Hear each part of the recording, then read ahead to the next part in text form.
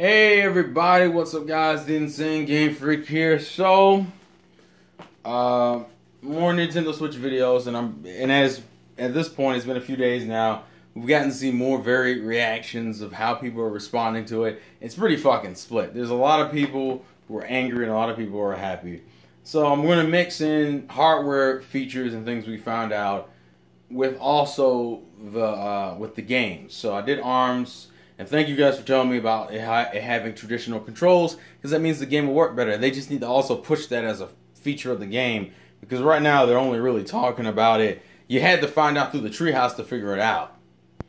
So let's get into the second thing, which is the storage. Now, a lot of people were pissed off with the Wii U storage capacity because it was only 32 gigs, and it felt like a bunch of BS because it's a home console and you're only giving me 32 gigs of storage, meaning I can only download a certain amount of games. And you come to find out on the Switch, it's about the same thing. It's 32 gigs. Uh, with even, I wouldn't say harder options, but less large options in terms of external storage. Because unlike consoles, you can buy portable hard drives like a terabyte or so for like less than a hundred dollars, up to two terabytes nowadays. So it's like okay, but micro SD cards are just now getting to like the two hundreds. Uh, I think SD micro SD cards you can't even get. The highest I think you can get is like 128 or some shit. Uh, what a reasonable price is like 128, maybe 200. I think some of them aren't even out yet, which is funny because they've even they've ironically enough though Nintendo's been like, oh yeah, but the it, supports up to two terabyte SD cards, even though you can't buy those right now anyway. So, uh, but I wanted to talk about it because there's I'm I understand the frustration, but I I, I also need to point out the hypocrisy. Okay, so is 32 gigs a lot of storage? No, it's never been a lot of storage. It's why most people who who played their Wii U pretty extensively have an external hard drive or have extra have other SD cards or something laying around with the other games on it because the console wasn't enough to fill up that storage. Now, I'm a little bit more forgiving with the Switch, particularly because as far as tablets are concerned, that's a pretty standard storage capacity. But because the console is being marketed as a home console first with the option to be portable, you would still expect the option to be there. But I, un- I understand it, but it doesn't necessarily change the fact that you're still probably gonna have to get some type of proprietary extra uh, storage device. So I agree, it probably should have been bigger. I just realistically couldn't understand how they would do that, considering most tablets. I think the, the highest I've seen the tablet go is like 64 gigs, maybe, or maybe 128. Like, there's not much higher you could have gone. And let's be real here, people were going to complain if it was less than 500 gigs. Let's be real here. People were going to complain if it was less than 500 gigs, although the complaining probably just would have been slightly nerfed. But the complaints would have still been it's 2017 and you're releasing a console that doesn't only has 32 gigs of storage. Let's be real here, that's what would have happened. Um, but it should have been more. I but realistically, I can't see myself understanding how they could have done that, considering what the console was. Looking at the console, I wasn't expecting 500 gigs of storage because that would have been insane.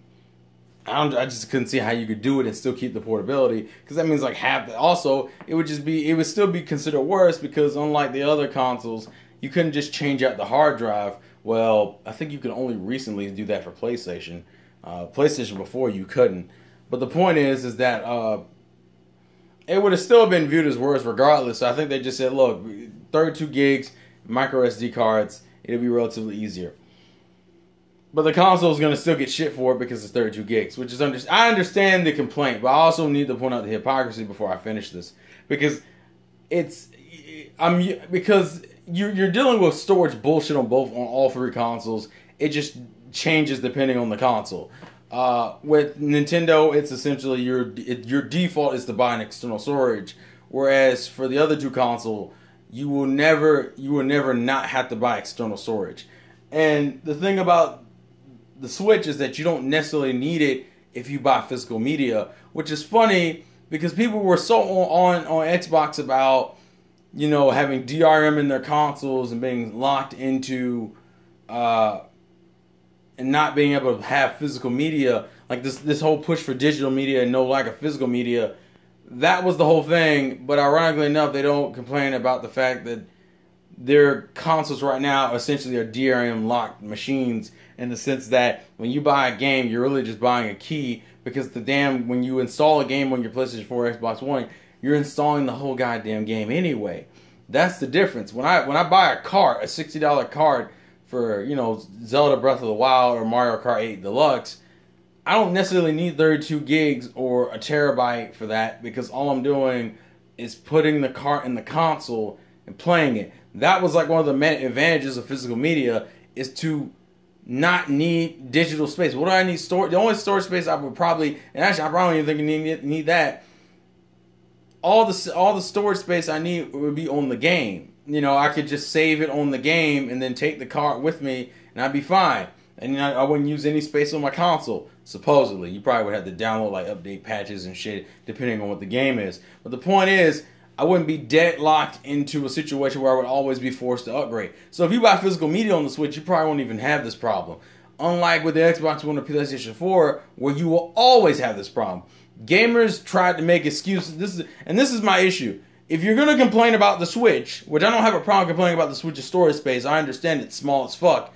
You also need to look at the other side of the coin and recognize that the Switch, at least with physical media, you don't have the problem with PlayStation and Xbox, you always have the problem because your games are constantly and are forced and will always be installed onto the fucking console. So even if you have 500 gigs or a terabyte, they're making sure that everybody is going to end up spending money to buy a fucking to buy some type of external storage. If you're a gamer, because most gamers are playing a lot, a lot of people like that, like, oh, well, for the casual consumer, they won't run into the problem. Well, yeah, they do, because all you have to do is play buy Madden or FIFA.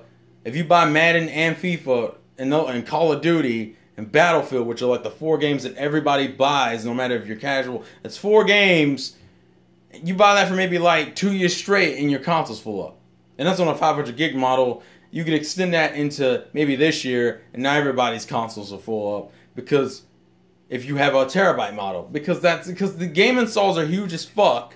That's the first problem. And two, you're always forced to install it. So either they get you by making you pay for a terabyte console, or they get you in terms of just making you upgrade your hard drive multiple times.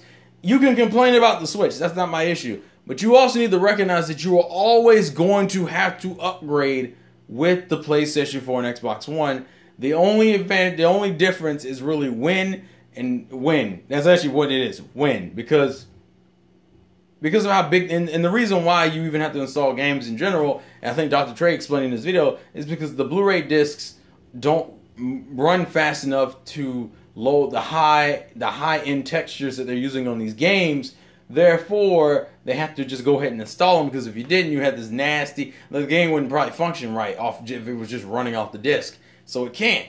So in comparison is that like, oh look, I have to, I always will have to update. If I'm a gamer, I'm always gonna have to upgrade my my my uh, my uh, internal storage, always. And then on top of that, thinking considering they're also giving you free PlayStation Plus games, uh, I forget which console actually keeps, and I actually understand why now that you get the con- that the games that you have on your console will also add into your storage I actually, I am not sure how PlayStation Plus's free games work. If they're actually installed on your console, I don't think they are, since they can go away if you lose PlayStation Plus. But if you get it back, it still has the same catalog of games you had from before. So I guess you're essentially paying for a pseudo streaming service with video games. I'm not 100% sure. And the reason why I think you probably can't install them is because it would just run up. It would just make your storage go smaller and smaller. And considering you also have to pay if you want to add apps into your console, that's more storage you're taking up. So the point I'm trying to make is, it's like you just got to pick your poison. At least with the game carts, you don't have to deal with installs. And in a lot of cases, I'm betting, and we've already heard confirms of this, uh, confirmations of this with Zelda. You get faster load times, and you just jump into the game. Versus these consoles, that still take an hour going to a game because you have to install the game, and then oh, they gave you a feature. Oh, I can play while it's installing. Well, the, the, the problem is that I have to install it in the first place. But uh, oh look, I can uh, I can play while I'm installing. That's that's just a cop out. It, it doesn't really fix the problem.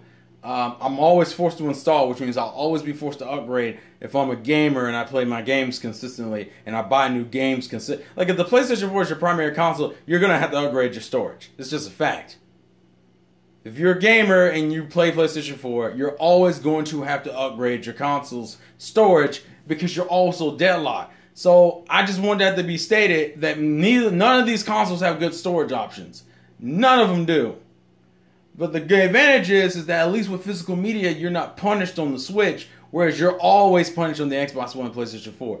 And granted, that's not saying there's. I'm not going. Not every video is going to be like me trying to make excuses for it because I'm not making an excuse. I'm just saying gamers need to stop throwing out shade towards the Nintendo console and not recognize that. Oh, look, the other consoles deadlocked you in, the, in a different way, but it, it was it was a slower and a less obvious way, so it's okay. That's literally all it is, because you want to sit and tell me 500 gigs or terabyte is enough on a console that makes you install games.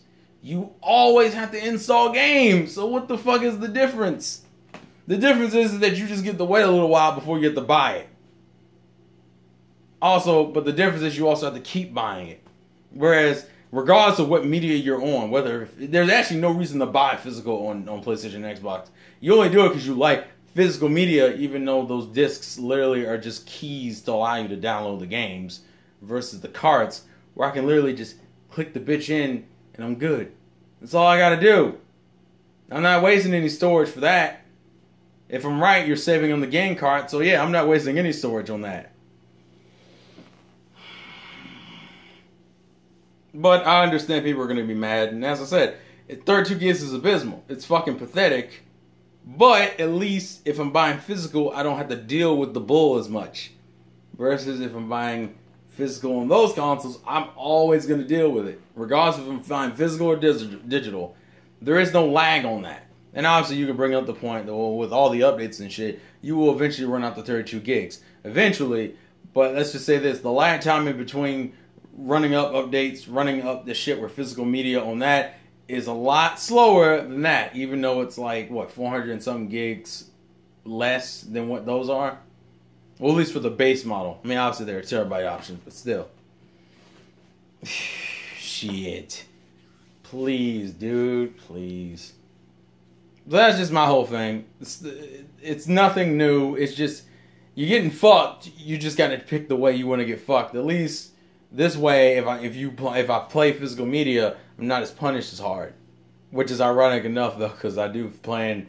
I think this might be the first digital console I try, like just buying digital for. Depends. I'm gonna get fucked either way. Let's just be fair here. We're gonna get fucked either way. You're just picking how and how you're getting fucked. But yeah, at least I'm not punished for physical media on the Switch, whereas I'm totally punished for it because the because they want you to go digital only, guys. That's all I wanted to say. As I said, there are certain things about the Switch. There is no real. It's not like I can do this all the time because the online, as of right now, that's that's like fuck me levels. The Switch's online setup is bullshit levels, and that's just because I. That's partially because it's not a well explained system, and then on top of that, it's some. It's fucking bad, dude. I'll get into it in the I'll get into it in the next video, but for right now, that's just all I wanted to say. Storage wise, the both bullshit is just that at least here I'm not punished for owning physical media, whereas here I'm always punished. They want you to go digital because you might as well be going digital. There's no reason to go physical on that. I don't know. Anyways, uh, thank you guys for watching. Please leave your thoughts and comments in the comment section below. And I will catch you guys later. Peace out.